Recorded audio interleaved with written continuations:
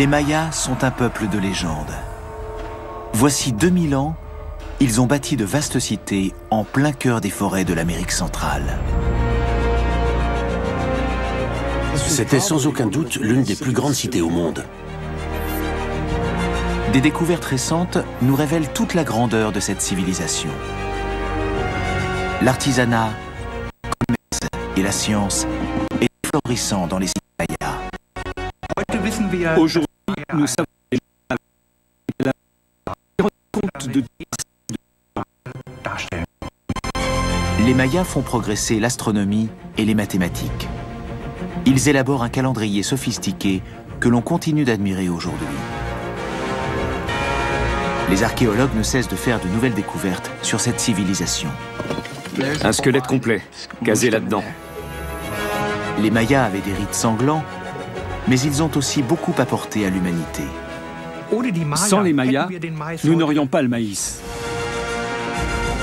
On s'est longtemps demandé ce qui avait provoqué la chute de cette grande civilisation. Aujourd'hui, les archéologues ont des éléments de réponse.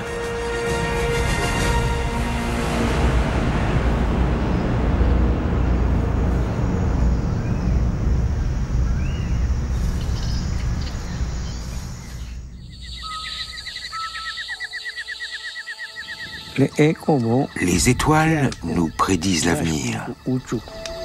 Nous vivons tous sous le grand serpent ciel. Au IXe siècle, le monde maya classique est sur le point de disparaître. Mais il continue de vivre dans les contes et légendes.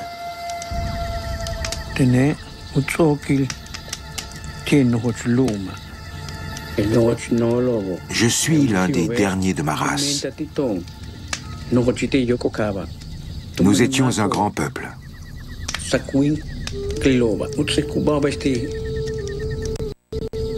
vais vous raconter comment nous vivions à cette époque,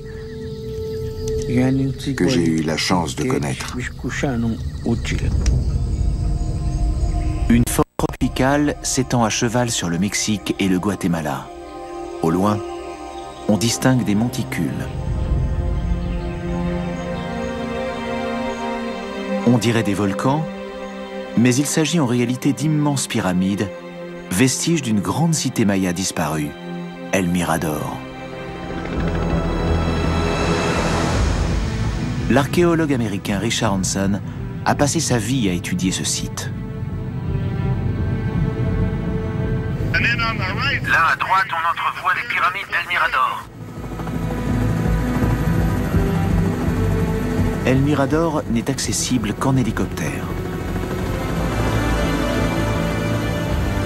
Richard Hanson vient là depuis des décennies. La première fois, il était encore étudiant. Il a pu établir que ces ruines dataient du premier millénaire avant Jésus-Christ.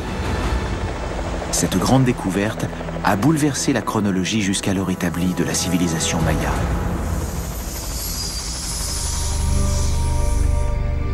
Richard Hanson et son équipe d'archéologues fouillent les ruines de manière systématique.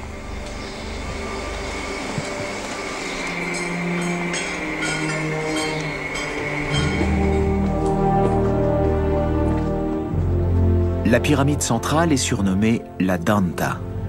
C'est l'un des plus grands édifices mayas. D'après Richard Hanson, son volume est supérieur à celui de la pyramide de Khéops en Égypte. Sa construction a représenté une véritable prouesse. Les Mayas n'avaient ni véhicule à roues, ni bête de trait, ni palan, ni même d'outils en métal pour travailler la pierre. Pour élever cette pyramide à degrés, il a fallu l'équivalent du travail de 4000 hommes pendant 30 ans, 365 jours par an.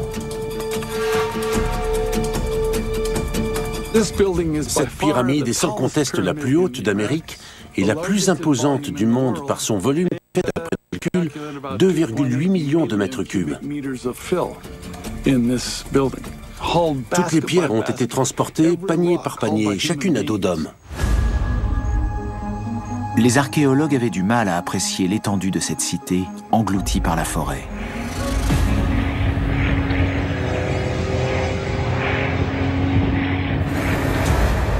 Mais récemment, la télédétection par laser leur a révélé ce qui se cachait sous l'épaisse couche de végétation. Le système LIDAR a mis en évidence des structures invisibles à l'œil nu.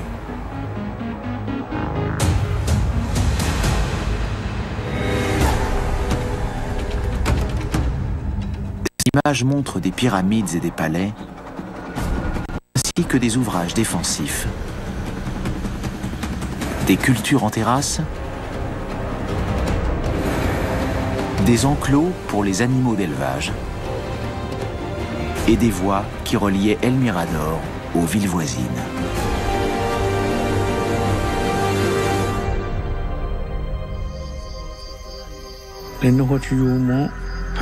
Nos rois étaient aussi puissants que le soleil. Ils ont bâti des pyramides qui montaient jusqu'au ciel. On aurait dit des montagnes. Vers 800 avant Jésus-Christ, El Mirador est l'une des plus grandes métropoles du monde maya.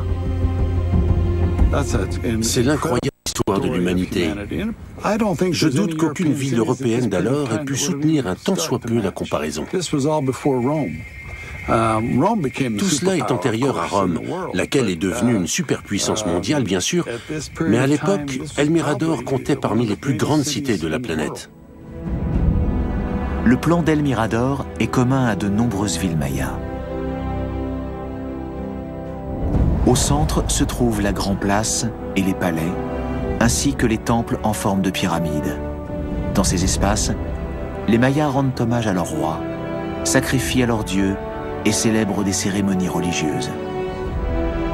La population d'El Mirador s'élève probablement à 250 000 personnes intramuros et à 1 million si on ajoute les faubourgs. C'est une ville-jardin dont les champs et les vergers s'étendent à perte de vue. nombreuses personnes se rendent au marché de la ville.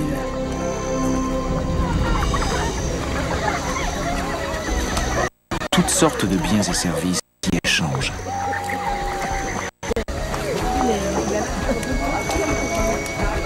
On y trouve aussi bien des marchandises exotiques que le produit des cultures et de l'artisanat.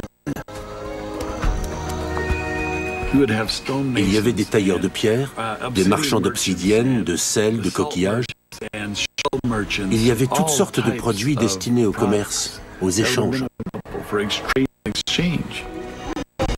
Des potiers réalisent des magnifiques céramiques. Des armuriers fabriquent des haches et des couteaux en obsidienne, une roche volcanique vitreuse extrêmement coupante. Parmi les objets précieux, on trouve des coquillages du genre spondyle.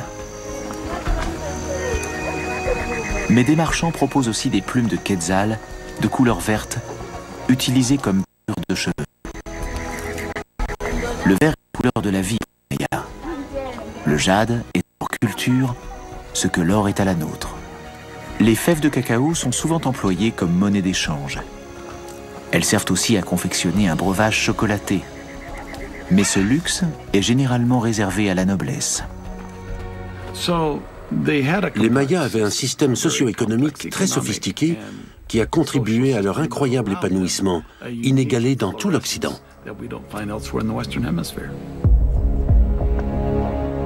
Les archéologues retrouvent régulièrement des restes humains sur le site d'El Mirador. Cette cavité creusée dans le sol d'une maison pourrait bien être une tombe. Richard Hanson et son équipe s'apprêtent à l'ouvrir. Avec d'infinies précautions, ils décèlent la pierre qui barre le passage. Tu l'as eu. Oui, ça va aller. Ok, maintiens-la bien.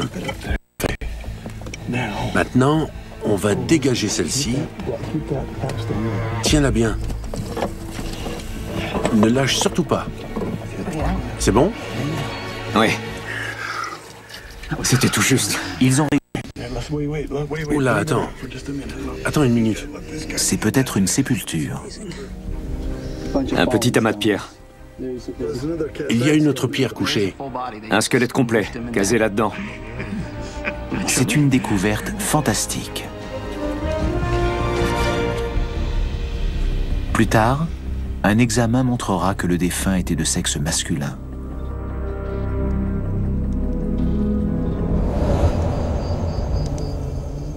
Les Mayas croient en la vie après la mort. L'âme du défunt tombe d'abord dans le monde souterrain. Elle devra passer de nombreuses épreuves avant de pouvoir monter au ciel. Les morts vivent parmi nous. Nous les nourrissons et nous brûlons de l'encens pour qu'ils sachent que nous ne les oublions pas.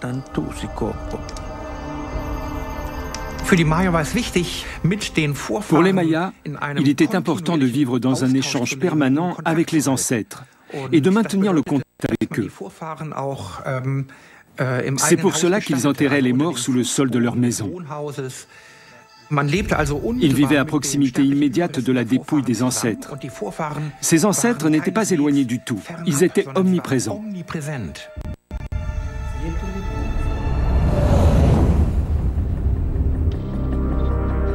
Il ne reste que des fragments du squelette. Près du crâne, les archéologues trouvent une coupe percée d'un trou. Elle était posée sur le visage du défunt et laissait passer son âme par le trou.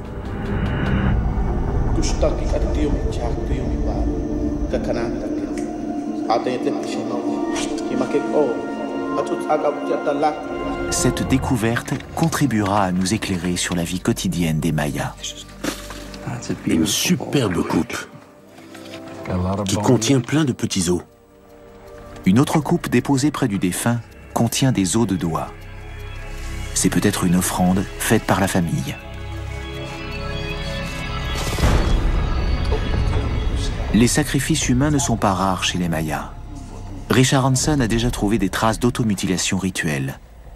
C'était sans doute un moyen pour la famille de signifier qu'elle restait liée au défunt.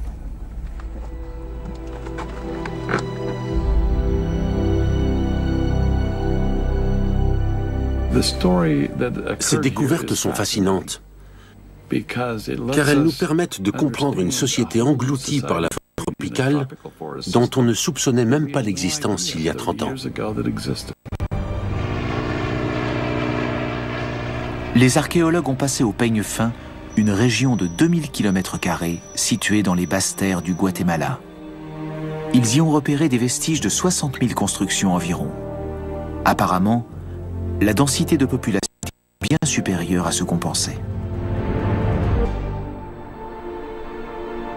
Cela a de quoi surprendre quand on sait que le sol est assez pauvre et la forêt paraît luxuriante.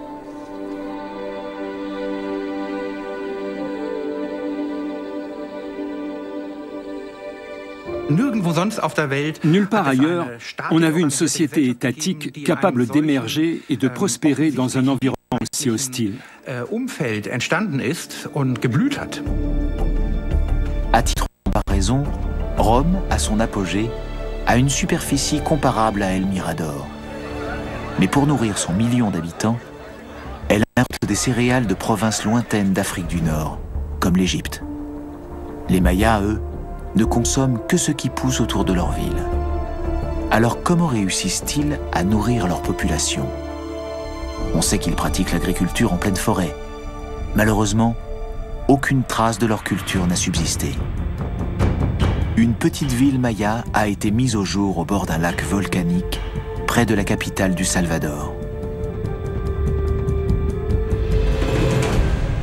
Roya de Seren figure désormais sur la liste du patrimoine mondial de l'humanité. C'est une sorte de Pompéi maya. La ville a été ensevelie lors d'une éruption. Bâtiments et objets de la vie quotidienne se sont conservés sous des mètres de cendres. Cette tragédie ancienne fait le bonheur d'archéologues comme Michel Toledo.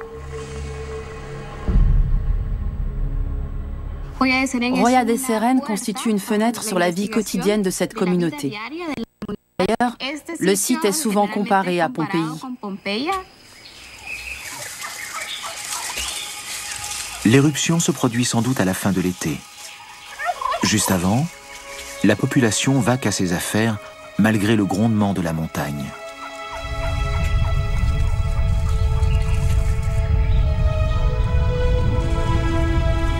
Le volcan Loma Caldera se situe à 800 mètres de là où nous nous trouvons. C'est vraiment tout près. À certains endroits la couche de cendres fait 3 mètres d'épaisseur et à d'autres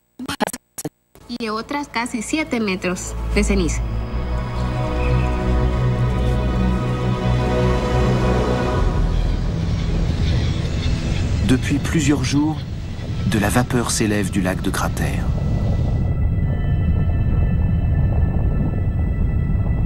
De légers séismes la région.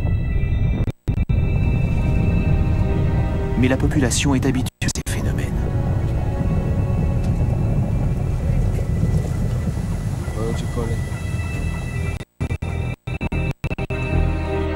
Les dieux les préviennent toujours avant une catastrophe.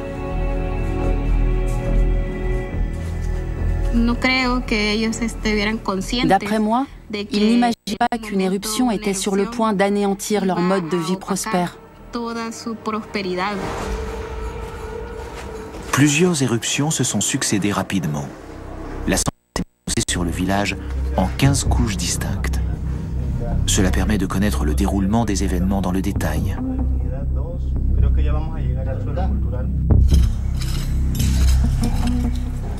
Le site a été découvert par hasard en 1976, lors de travaux de terrassement.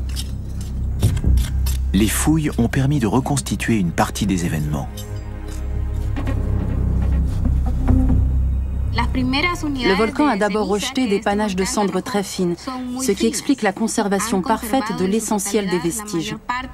Céramique, lithique, voire des matières organiques. C'était la saison des récoltes. Les éruptions se sont sans doute produites dans la soirée.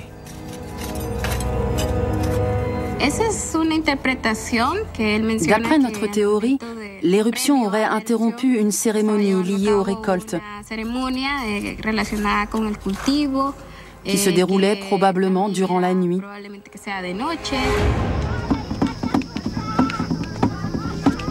La découverte d'un crâne de cerf qui servait de coiffe rituelle étaye cette hypothèse.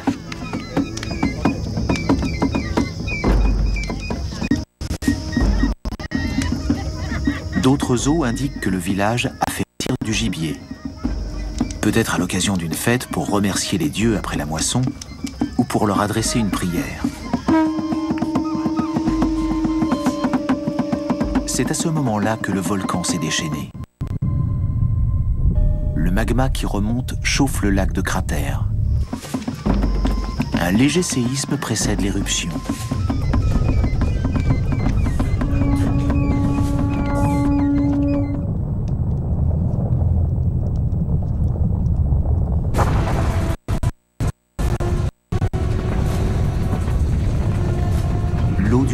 Jaillit en gros bouillonnement. Puis le volcan entre en éruption. La population a-t-elle le temps de se mettre à l'abri?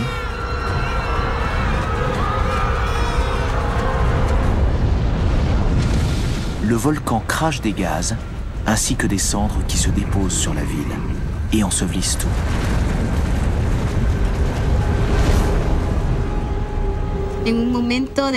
Ils célèbrent un temps fort de leur existence dorée.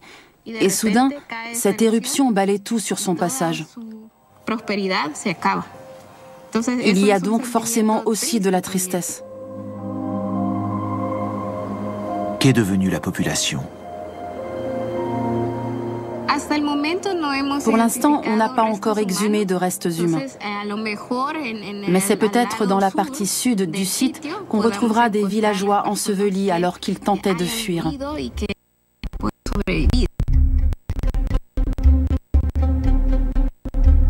des grands intérêts de cette Pompéi d'Amérique centrale réside dans la présence de traces de plantes qui nous renseignent sur l'alimentation des Mayas. Des plates-bandes sont encore visibles entre les maisons. Comme tout le reste, elles ont été ensevelies sous une épaisse couche protectrice.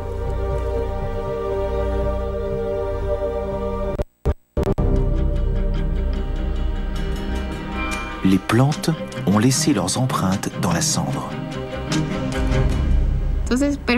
On retrouve la forme exacte de ce qui poussait ici.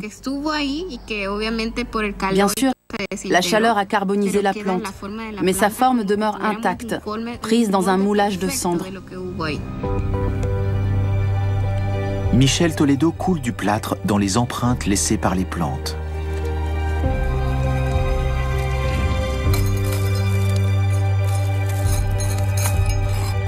Ces moulages nous éclairent sur les variétés cultivées par les Mayas.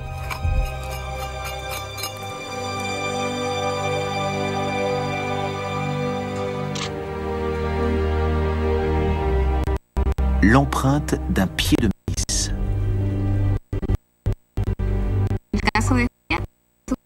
des Sérènes, la culture du maïs était généralisée.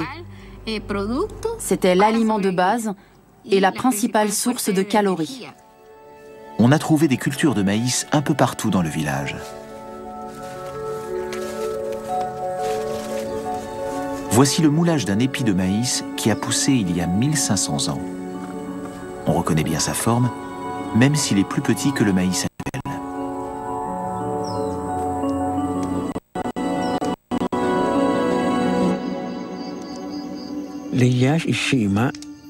Le premier maïs était retenu dans le monde souterrain. Le dieu de l'éclair a fendu la terre en deux avec son marteau pour le faire sortir. Dans la mythologie maya, le maïs est un cadeau des dieux. Les dieux ont pétri les grains de maïs pour façonner les hommes.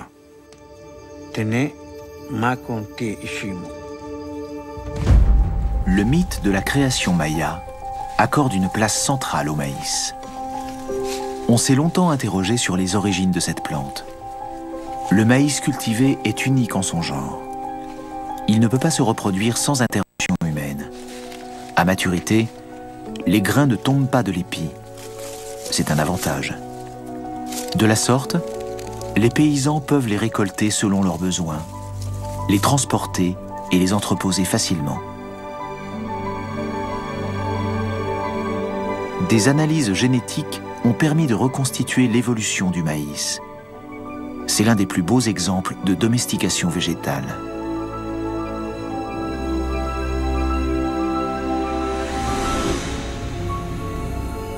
L'ancêtre du maïs est une graminée sauvage appelée théocinthe. Ces rares grains sont peu nourrissants et leur enveloppe est difficile à digérer. Les premiers agriculteurs d'Amérique centrale utilisent des mutations naturelles de la théocinthe pour mettre au point une plante comestible qu'on appellera le maïs. Les plus épis de maïs qu'on connaît faisaient environ cette taille. Suffisait pas à nourrir une famille. Mais les paysans ont continué à les cultiver et à les sélectionner. C'est le propre de l'homme d'aimer expérimenter et perfectionner qui peut l'être.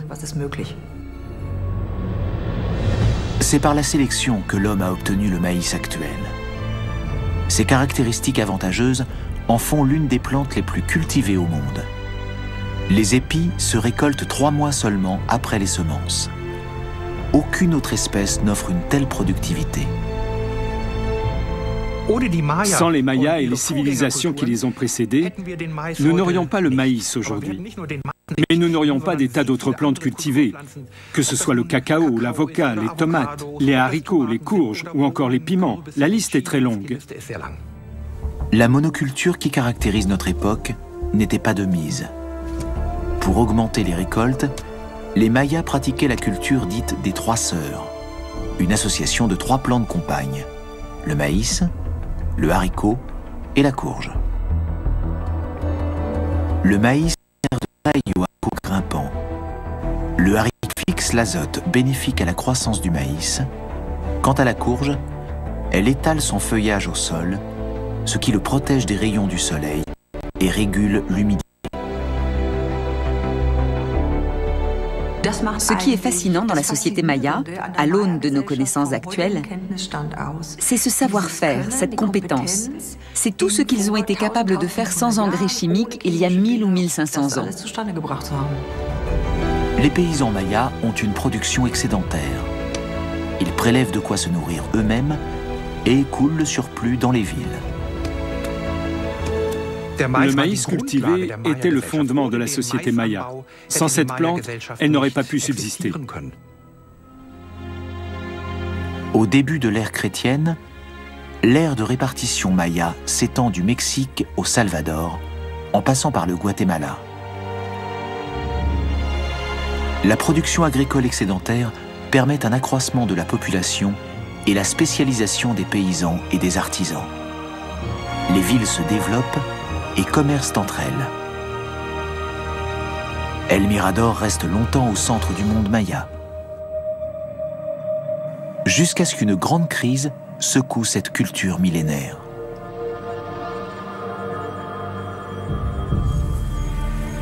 En explorant le site, Richard Hanson a trouvé des signes patents du déclin de la ville.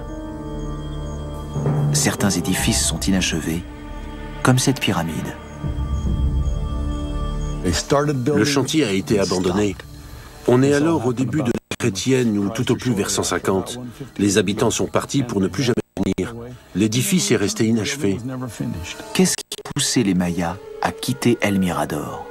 Selon Richardson, cela pourrait être une crise environnementale.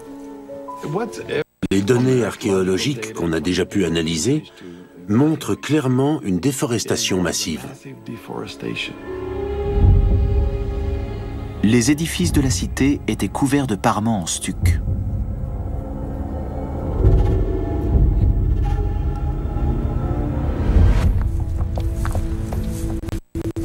Or, la fabrication du stuc consomme énormément d'énergie.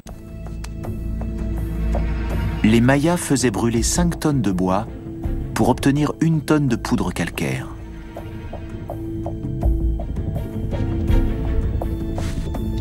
Cette poudre blanche entre dans la composition du stuc.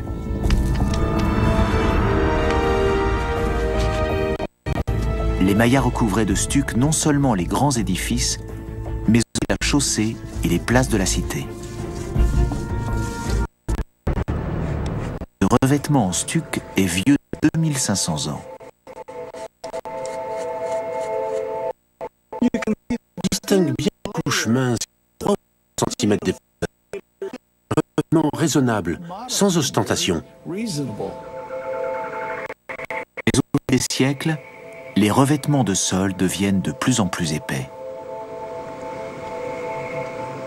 Au début de l'ère chrétienne, le vêtement faisait en moyenne une suffisait amplement. Ce fut un gain colossal de bois, de calcaire et de main-d'œuvre.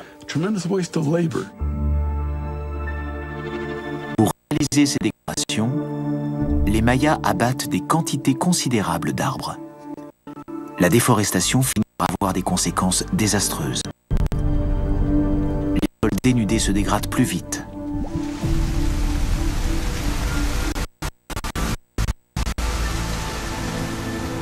Les semis ne lèvent plus.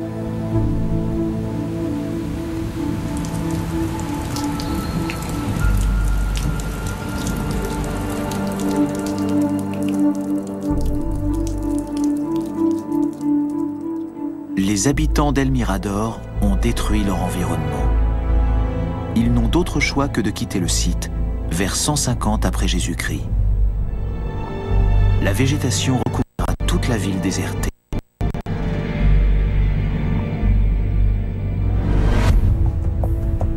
Les habitants s'installent un peu plus loin. Certains se rendent jusqu'à la côte, où ils bâtissent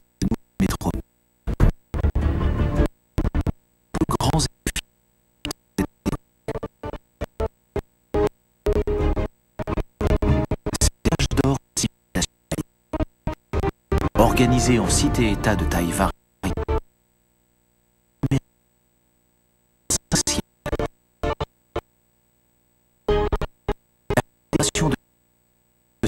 regroupe millions d'habitants, soit à peu près autant carolingien, mais sur un territoire dix fois plus petit. Entre 400 et 800 après Jésus-Christ, c'est la région qui présente la plus grande densité de population au monde.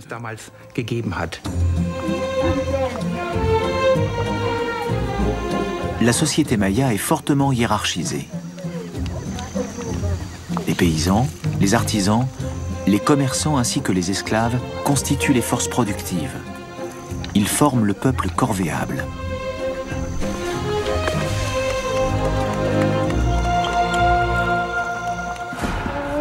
Les cités sont dirigées par des rois divins qui garantissent au peuple la sécurité et la faveur des dieux. Les rois avaient pour mission de célébrer des rites. C'était leur tâche la plus importante. On croit toujours que les rois doivent s'occuper de politique.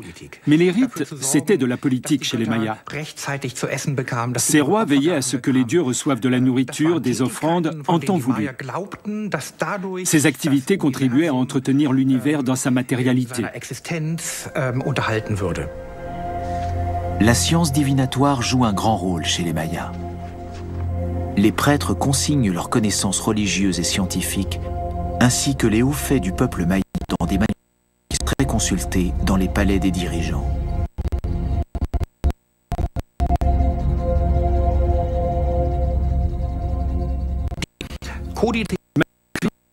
Qui nous éclairent sur la pensée des Mayas, leur religion, leur science. Quand on les lit, on a l'impression d'entrer dans la tête des prêtres et des savants mayas. Les Mayas avaient de nombreux livres, mais seuls quatre sont parvenus jusqu'à nous. Ce sont des documents d'une valeur inestimable, en particulier celui de Dresde, en Allemagne. On a longtemps cru que les Mayas n'utilisaient que des idéogrammes. Mais on sait aujourd'hui que leur écriture permettait de traduire une pensée complexe au moyen de symboles notant des syllabes ou des mots entiers. Les Mayas sont parmi les grandes civilisations qui ont inventé leur propre écriture. Il faut bien voir qu'il y avait une riche culture livresque. Les Mayas devaient posséder des milliers, voire des dizaines de milliers de livres. Chaque palais, chaque roi, chaque prêtre possédait sans doute sa propre bibliothèque.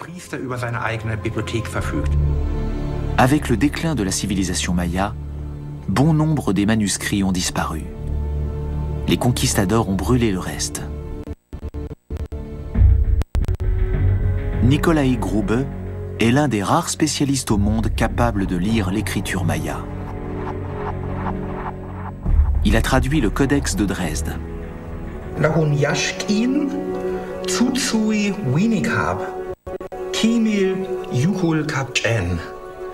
Cela signifie le jour 11 à Hao du mois 10, la terre tremblera et sèmera la mort. Le Codex de Dresde annoncerait la fin du monde. C'est du moins ce que certains ont dit et ce qu'il a fait connaître du grand public. Selon ces devins modernes, la dernière page du manuscrit révélait la date exacte de l'Apocalypse, le 21 décembre 2012.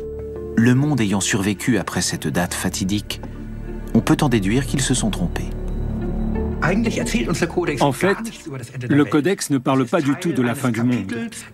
Ce chapitre du manuscrit contient des prévisions de pluie et d'inondation. Il ne contient aucune prophétie concernant l'année 2012. Pour les Mayas, 2012 marquait juste la transition entre deux périodes du calendrier. Si le codex de Dresde est précieux, c'est pour une toute autre raison. Il a permis de déchiffrer le système de numération maya. Les Mayas possédaient le zéro qu'ils représentaient sous la forme d'un coquillage. Les Mayas sont sans doute le premier peuple, la première civilisation au monde à concevoir le zéro et à inventer un symbole pour le noter. Le zéro est peut-être la plus grande invention de l'humanité. Sans lui, les calculs complexes seraient impossibles et le monde actuel inconcevable. Ni les Grecs ni les Romains ne le connaissaient. Il a fallu attendre le XIIe siècle pour que les Européens l'utilisent les Mayas appuient leurs observations astronomiques sur leurs connaissances mathématiques. Ils calculent la position des planètes, la trajectoire des comètes et d'autres phénomènes célestes avec une grande précision et sans télescope. Dans la salle de projection de la bibliothèque de Dresde, Nikolai Grube travaille sur le facsimilé du Codex Maya. Ce document appartenait sans doute à un prêtre. Il contient entre autres une table des phénomènes célestes notables. Les Mayas accordent une grande importance à ces données astronomiques parce qu'ils considèrent les astres des dieux et que dans les mouvements de ces dieux, ils peuvent lire leur destinée.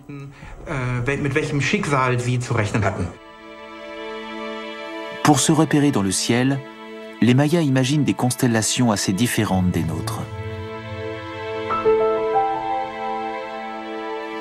Prises ensemble, elles forment un panthéon de dieux capricieux. Sur cette page, on voit une partie d'une de vision qui concerne la planète Vénus. Vénus était de la guerre. Selon sa position dans le ciel, les journées étaient plus ou moins propices à partir en guerre contre la cité voisine.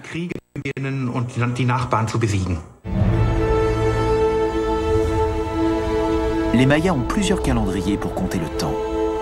Au quotidien, ils utilisent le Ahab, un calendrier solaire qui compte 365 jours comme le nôtre.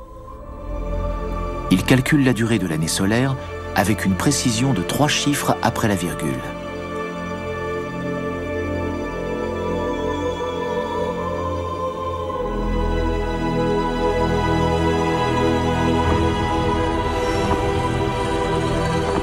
L'année religieuse maya compte 260 jours qui sont notés en combinant 20 signes de jour et 13 chiffres sacrés. Les deux calendriers mayas s'emboîtent comme un système d'engrenage. Les prêtres s'en servent pour arrêter le jour des cérémonies religieuses. Les mayas suivent religieusement les indications du calendrier. Les rois doivent donner l'exemple.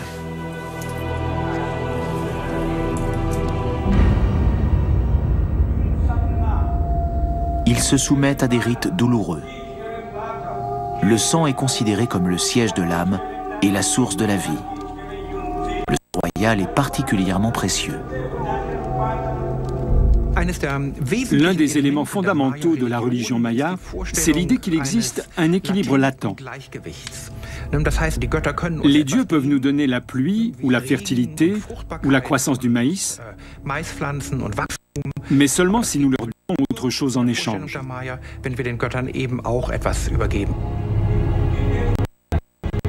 Poignarder son pénis, l'un des plus grands sacrifices. Les drogues aident le souverain à supporter la douleur.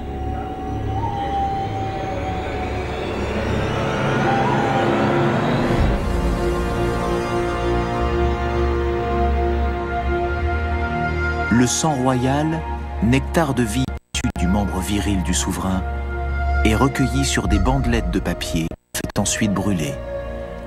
La cendre obtenue est un délice pour les dieux. En consentant de tels sacrifices, les souverains mayas montraient que dans un moment important, donnaient aux qui de précieux leur propre force de vie pour solliciter leur aide. Les souverains mettent en scène leur lien privilégié avec les dieux pour impressionner le peuple.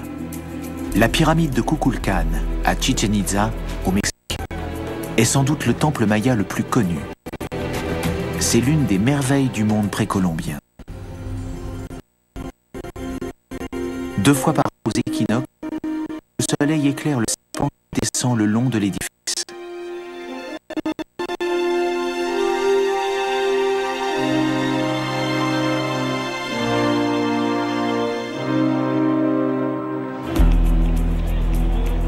Aujourd'hui encore, des milliers de personnes viennent assister au spectacle. L'illusion d'optique dure 45 minutes. Elle illustre tout l'art des astronomes et des architectes mayas. On considérait que les rois capables de prédire les mouvements célestes entretenaient un lien privilégié avec les astres et les dieux. Ce lien, c'était l'instrument du pouvoir. Il permettait de le légitimer. Les Mayas redoutent les éclipses lunaires et solaires. Pour eux, elles sont annonciatrices de malheur.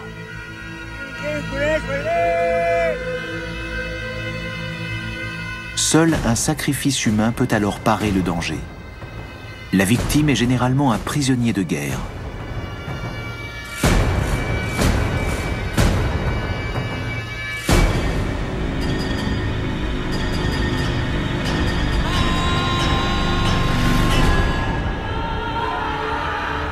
Ces sacrifices sont aussi des démonstrations de force.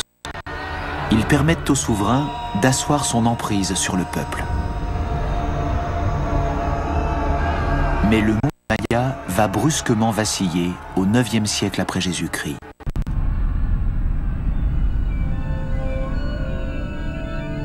La plupart des cités disparaissent en quelques décennies seulement.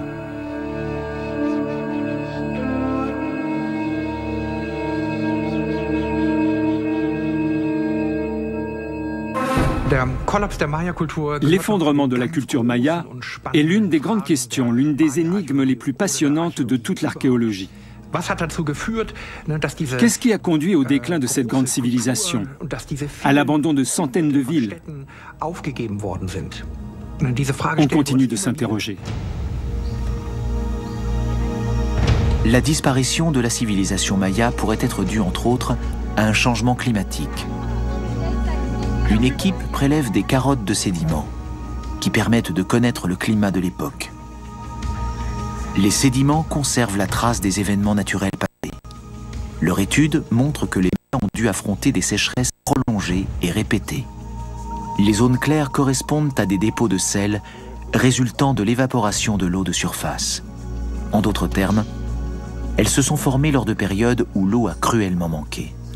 On estime que les précipitations ont reculé d'au moins 50% dans la période étudiée.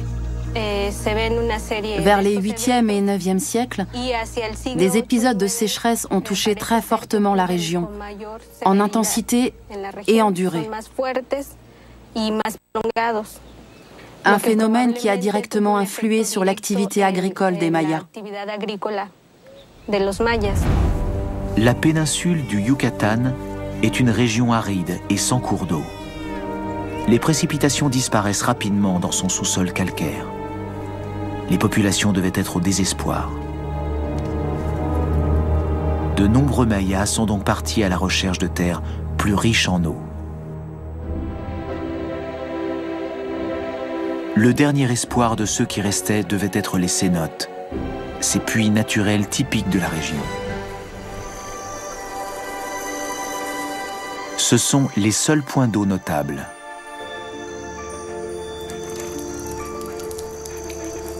Depuis peu, les archéologues les explorent systématiquement. Les cénotes mènent à un réseau de grottes souterraines vieilles de plusieurs millions d'années.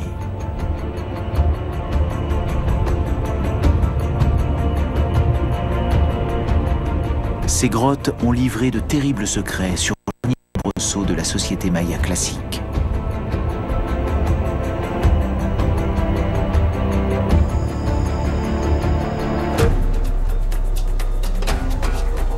L'archéologue Guillermo de Anda étudie ce réseau souterrain. Il y a fait une découverte spectaculaire en 2002. Il nous emmène aujourd'hui la voir.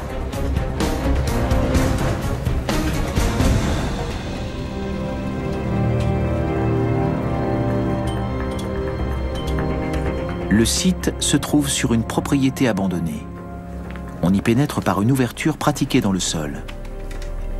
Les propriétaires pensaient qu'il s'agissait d'un puits maya. Mais Guillermo de Anda a tout de suite compris que c'était autre chose.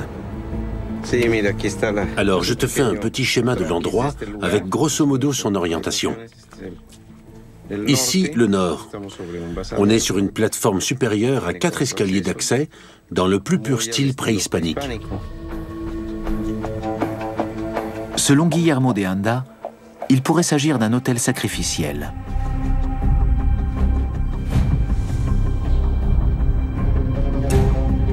L'ouverture dans le sol est orientée nord-sud, ce qui suggère une fonction religieuse. Ce que les fermiers prenaient pour un puits était peut-être une porte menant au monde souterrain des Mayas. Les Mayas situaient la demeure de Chaak, le dieu de la pluie, dans les cénotes. Ils lui faisaient régulièrement des offrandes de bijoux et d'encens. Mais en période de sécheresse, ces présents devaient paraître insuffisants.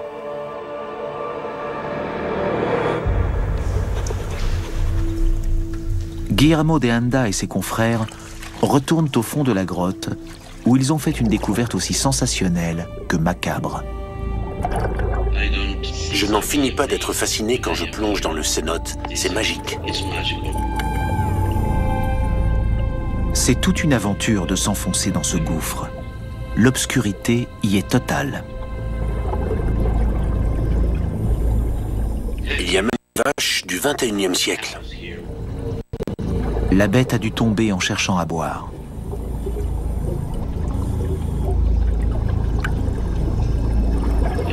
On a beau se déplacer très lentement, on soulève beaucoup de limons.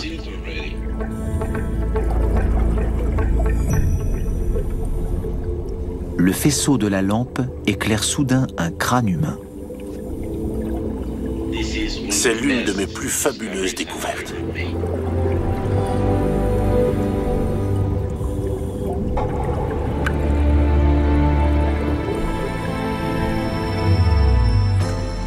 Au fond du cénote, Guillermo de Anda a trouvé les restes de plusieurs victimes de sacrifices.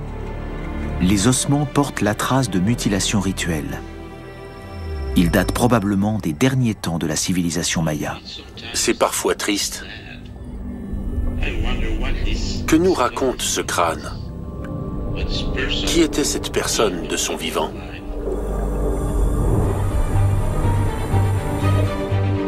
La présence de crânes d'enfants semble indiquer qu'à la fin, les Mayas ont sacrifié ce qu'ils avaient de plus précieux pour adoucir le dieu de la pluie.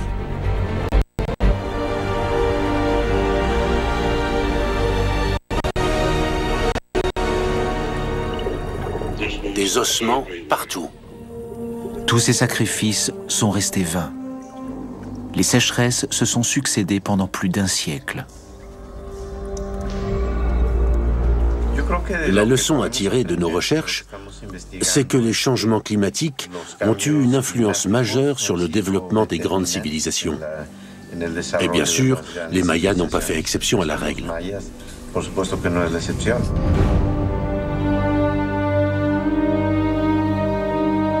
Mais d'autres facteurs ont entraîné la chute de la civilisation maya, notamment les troubles politiques.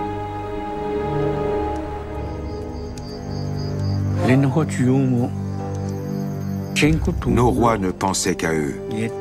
J'ai vécu cette triste époque.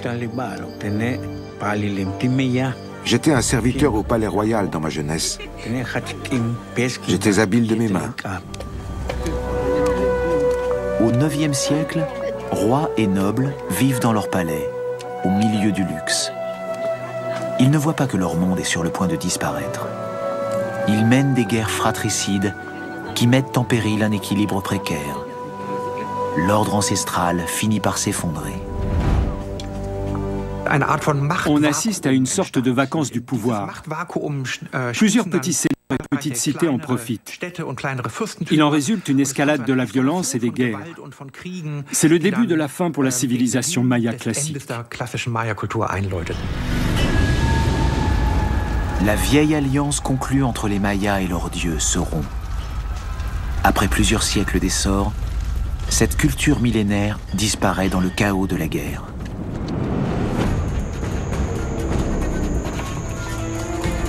Les rois sont renversés. Les grandes familles de la noblesse sont chassées du pouvoir. La guerre civile fait rage.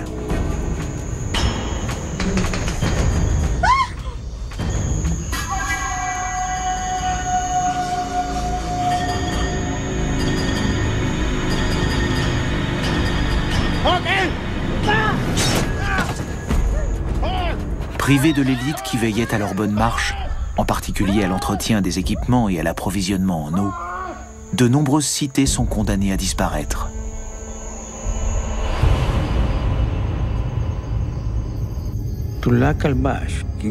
Tout s'est déroulé comme je vous le dis. Partout dans les basses terres de la péninsule du Yucatan, les Mayas abandonnent leur ville. Après 2000 ans de domination en Amérique centrale, la civilisation maya classique s'éteint. La jungle recouvre bientôt les vieilles cités. Les rares constructions à tenir encore debout seront détruites plus tard par les conquistadors. Ce qui disparaît, c'est le système politique de la royauté de droit divin et les villes. Mais les hommes qui composent ce peuple, les paysans, eux, continuent de vivre. Les survivants racontent leurs souvenirs et transmettent leur culture à leurs descendants. N'oubliez jamais que nous sommes comme le soleil. Il descend dans le monde souterrain le soir et réapparaît le lendemain Les merveilleuses cités mayas